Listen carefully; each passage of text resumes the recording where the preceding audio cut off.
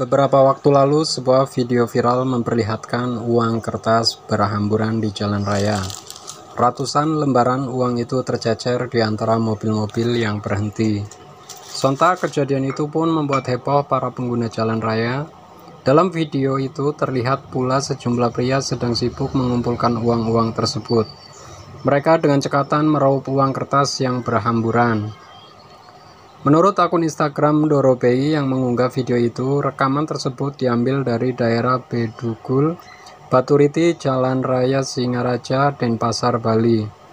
Viral di media sosial, polisi pun menyelidiki video tersebut saat ini. Polisi sedang memastikan lokasi kejadian sebab berdasarkan video yang viral dan laporan warga ada perbedaan lokasi.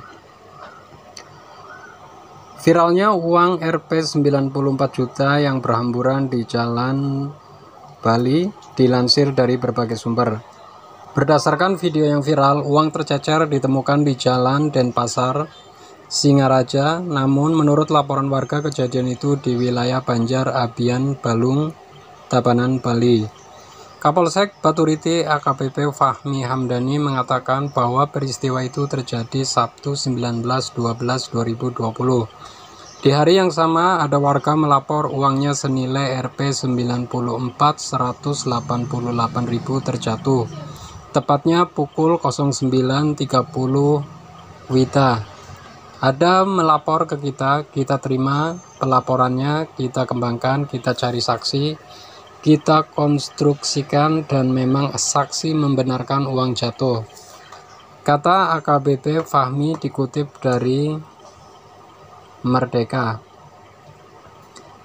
Saat itu pelapor diketahui bernama Kadek Redi Arini bersama anaknya Putu Suci Septiani. Mereka berangkat dari rumah di kawasan Kabupaten Buleleng, Bali. Menggunakan motor menuju Denpasar, uang itu dia simpan di tas warna hitam. Uang itu ada di tas ransel yang dibawa anaknya dan akan disetor ke sebuah perusahaan di Kabupaten Badung, Bali. Namun, anak pelapor lupa menutup atau mengunci kembali tas gendong itu usai berhenti di wilayah Bedugul. Mereka kembali melanjutkan perjalanan menuju Denpasar. Setibanya di wilayah Banjar Abian Luang, Desa Baturiti, Kecamatan Baturiti, pelapor disalip truk warna merah. Supir truk itu menyampaikan pada pelapor bahwa uang di dalam tas telah terjatuh di jalan. Mendengar pemberitahuan dari sopir truk itu, pelapor kemudian berhenti dan mengecek isi tasnya dan ternyata benar uang yang ada di dalam tas sudah tidak ada. Pelapor pun berbalik arah dengan maksud mengecek uangnya yang terjatuh di jalanan. Namun sudah tidak menemukan uangnya lagi yang berhamburan di jalan. Pelapor itu sok dan lemas tetapi ditolong oleh warga Banjar Abian Luang bernama Bapak Lina. Kemudian karena panik, pelapor langsung menuju kantor perusahaannya di daerah Dharmasaba, Lubuk, Badung untuk melaporkan kejadian itu kepada perusahaannya. Namun saran dari perusahaannya agar pelapor melaporkan kejadian itu ke Polsek Baturiti untuk kerugian Rp 94.188.000 jelas Fahmi. AKBP Fahmi menambahkan awalnya uang itu dipegang sama si pelapor namun saat di perjalanan mereka sempat membeli buah dan mengisi BBM. Kemudian tas itu dipegang sama si anak dan di sekitar Sorokot kilometer berdukul. Anaknya mau mengambil topi karena sempat selfie dan sebagainya. Kemudian anaknya lupa menutup resleting itu tas. Si tas ini dalam posisi terbuka digendong di belakang. Kapolsek Baturiti Tapanan Bali AKBP Fahmi Hamdani menyampaikan ada sejumlah warga yang mengembalikan uang yang tercacar di jalanan wilayah Banjar Abian Luang, Desa Baturiti, Kecamatan Baturiti, Kabupaten Tabanan Bali.